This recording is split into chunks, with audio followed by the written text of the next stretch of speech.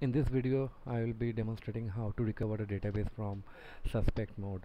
So I have a SQL Server 2016 and here I will show you that I have got a couple of databases which are in suspect mode and I can't recover them at this moment.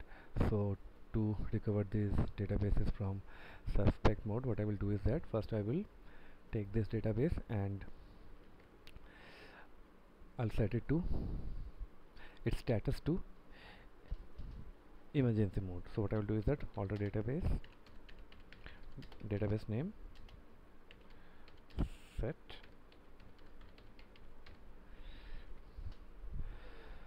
so if I refresh it I'll see that this database has now gone into emergency mode.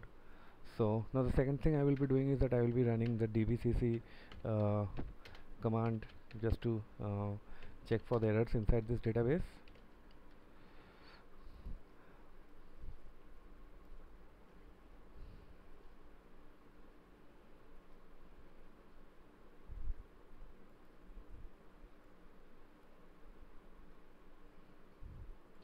so if as I can see uh, there are some errors. So if I go to the SQL Server log I can find the detail errors. So what I will do now is that I will set uh, this database to uh, single user mode and then I will uh, repair this database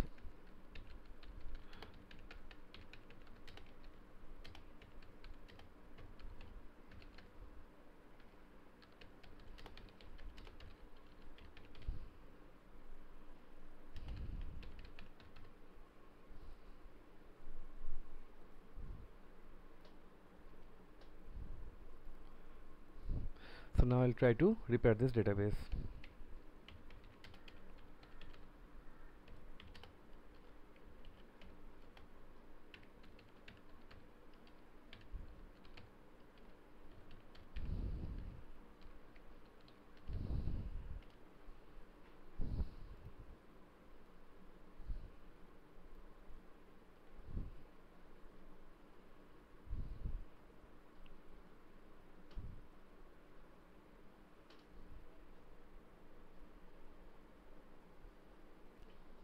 so as I can see that this database uh, has been successfully repaired.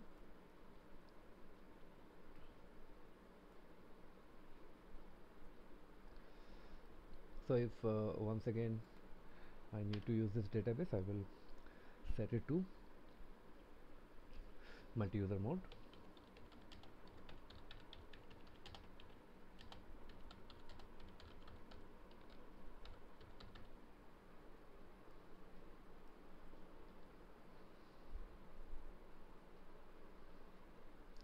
so now if I refresh the SQL server I will see that this database has been recovered.